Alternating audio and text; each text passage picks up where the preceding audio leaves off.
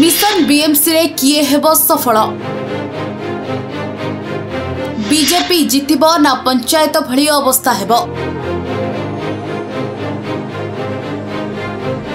ପତିଆରା ବଜାୟ ରଖିପାରିବେ କି ସାଂସଦ ବିଜେଡିକୁ ଜିତାଇବେ କି ତିନି ବିଧାୟକ ପରାଜିତା ହୋଇଯିବେନି ତ ଅପରାଜିତା ରାଜଧାନୀରେ ଉଚ୍ଚରେ ରହିଛି ପୌର ପାରଦ। ଖରା ଯେତେ ବଢୁଛି ପୌର ତାତି ମଧ୍ୟ ସେତେ ବଢି ଚାଲିଛି। ଭୁବନେଶ୍ୱର ମ୍ୟୁନିସିପାଲ ଦଖଲ ପାଇଁ ବିଜେଡି ଓ ବିଜେପି ମଧ୍ୟରେ ଛକା ପଞ୍ଝା ଲାଗି ରହିଛି। ଗୋଟେପଟେ ସାଂସଦ ଅପରାଜିତା ଏବଂ ଅନ୍ୟପଟେ ଭୁବନେଶ୍ୱର ଉତ୍ତର ମଧ୍ୟ ଓ ଏକାମ୍ର ବିଧାୟକ।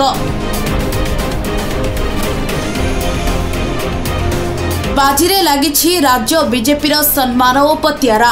ବରିଷ୍ଠ ନେତା ତ ଆଡ଼ଛଡ଼ା ହୋଇ ରହିଲେ। ଯାହାର ପରିଣାମ ଦଳ ପଞ୍ଚାୟତ ନିର୍ବାଚନରେ ଭୋଗିଲା। ଏକା ବେଳେ ବିଜେଡି ସବୁ ପୋଛି ନେଲା। ହେଲେ ହାର ମାନିନାହାନ୍ତି ଅପରାଜିତା।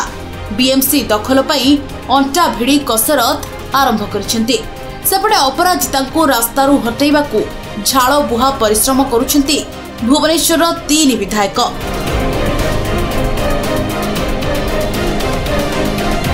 ଦୁଇହଜାର ଚଉଦ ବିଏମ୍ସି ନିର୍ବାଚନରେ ସତଷଠିଟି ୱାର୍ଡରୁ ବିଜେଡି ଅଣଚାଶ ବିଜେପି ଚାରି ଏବଂ କଂଗ୍ରେସ ଦୁଇଟି ଆସନ ଜିତିଥିଲେ ସେପଟେ ସ୍ୱାଧୀନ ପ୍ରାର୍ଥୀ ବା ନିର୍ଦ୍ଦଳୀୟ ପ୍ରାର୍ଥୀ ବାରଟି ୱାର୍ଡ ଦଖଲ କରିବାରେ ସଫଳ ହୋଇଥିଲେ।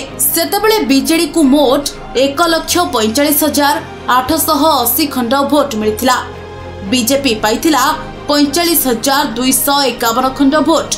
ସେପଟେ କଂଗ୍ରେସ ମାତ୍ର ତିରିଶ ହଜାର ତିନିଶହ ଏକ ଭୋଟ ହାତେଇଥିଲା। ନିର୍ଦ୍ଦଳୀୟ ପ୍ରାର୍ଥୀ ପଞ୍ଚସ୍ତରୀ ହଜାର ଛଅଶହ ପଚିଶ ଭୋଟ ପାଇଥିଲେ।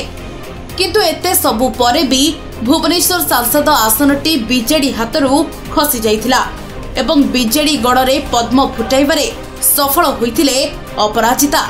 ଦୁଇ ହଜାର ଚଉଦ ବିଏମ୍ସି ନିର୍ବାଚନ ବେଳେ ବିଜେପିର ଖାତା ଖତିଆର ନଥିଲା। ଏଥର କିନ୍ତୁ ଅପରାଜିତାଙ୍କ ବଳରେ ବିଜେପିର ଆଶା ମଉଳିଛି ଏଣୁ ସାଂସଦ ଅପରାଜିତା ବିଏମ୍ସି ଦଖଲ ପାଇଁ ସମସ୍ତ ରଣନୀତି ରଚିଛନ୍ତି।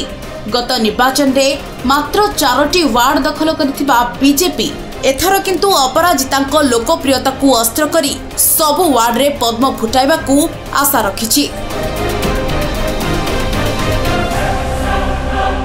ସେପଟେ କିନ୍ତୁ ବିଜେଡି ସୁଲୋଚନାଙ୍କୁ ପ୍ରାର୍ଥୀ କରି ଅପରାଜିତାଙ୍କୁ ଟାଟା ବାଇ ବାଇ କରି ରାଜଧାନୀକୁ ବିଜେପି ଶୂନ୍ୟ କରାଇବାକୁ ଅଣ୍ଟା ଭିଡ଼ିଛି ଏବଂ ବିଜେଡିର ଯୁକ୍ତି ଯେ ମୁଖ୍ୟମନ୍ତ୍ରୀ ଓ ଦଳର ଲୋକପ୍ରିୟତା ଆଗରେ ଆଉ ସବୁ ଫିକା। ସେପଟେ ବିଜେଡି ବିଜୟର ସମ୍ପୂର୍ଣ୍ଣ ଦାୟିତ୍ୱ ତିନି ବିଧାୟକଙ୍କ କାନ୍ଧରେ ଲଦିଛି। ଏଣୁ ଭୋକ ଶୋଷ ଏବଂ ଖରା ତରା ଭୁଲି ତିନି ବିଧାୟକ ପ୍ରାର୍ଥୀଙ୍କ ସହ ଘର ଘର ବୁଲି ଭୋଟରଙ୍କ ମତକୁ ପ୍ରଭାବିତ କରାଉଛନ୍ତି। ତେବେ ଗୋଟିଏ ପଟେ ସାଂସଦ ଅପରାଜିତାଙ୍କର ସମ୍ମାନ ଓ ପତିଆରା ବାଜିରେ ଲାଗିଥିବା ବେଳେ ତିନି ବିଧାୟକଙ୍କ ମଧ୍ୟରୁ କିଏ କେତେ ୱାର୍ଡ ଜିତାଇବ ତା ଉପରେ ରହିଛି ନଜର। ତେବେ ଅପରାଜିତାଙ୍କୁ ପରାଜିତା କରିବାରେ ସଫଳ ହେବେ କି ଏହି ତିନି ବିଧାୟକ ତାହା ତ ପୌର ଫଳାଫଳ ହିଁ ସ୍ପଷ୍ଟ କରିବ। ଭୁବନେଶ୍ୱରରୁ ସ୍ମୃତିରେଖା ପାଣିଗ୍ରାହୀଙ୍କ ରିପୋର୍ଟ ସନଷ୍ଟାର ଟିଭି।